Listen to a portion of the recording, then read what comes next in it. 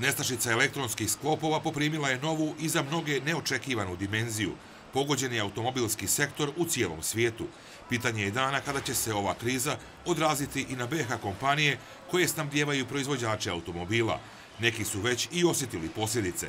Svi sa zemljom očekuju narednu godinu, naročito imajući u vidu rast cijena energenata i nestašicu raznih repromaterijala koji se nabavljaju sa dalekog istoka.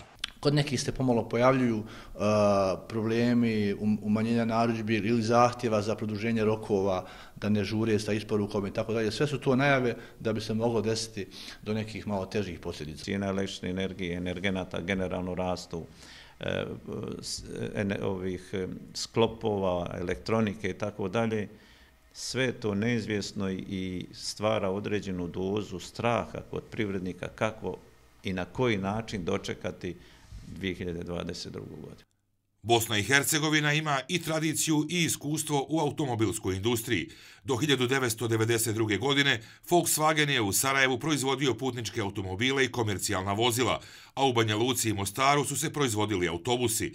Danas 60-ak BH kompanija radi za poznate svjetske brendove, zapošljavaju veliki broj radnika i postižu značajne poslovne rezultate. Pa ono što posljednjim podacima koji imamo iz 2020. to je bilo otprilike negdje oko 12-13 hiljada uposlenih u automobilskoj industriji Federacije Bosne i Hercegovine. Nažalost, za Republiku Srpsku taj podatak mi nemamo, ali ja vjerujem da je isto tako tu negdje, možda kako god je 50% firmi, mislim da je 50% uposlenih. Izvoz e, pred pandemijsko vrijeme je dosta kao negdje oko milijardu KM.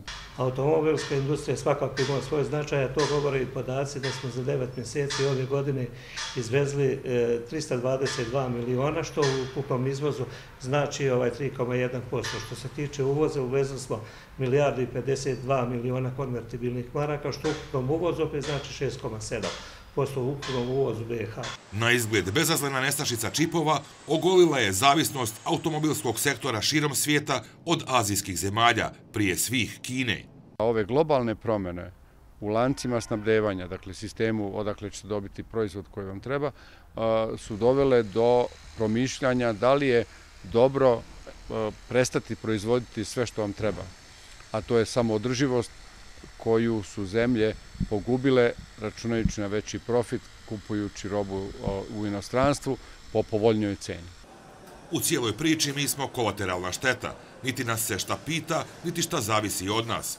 Ostaje nam samo da se nadamo da će Evropska unija naći alternativne izvore snavdjevanja. Spašavajući svoje, spasit će tako i naše kompanije.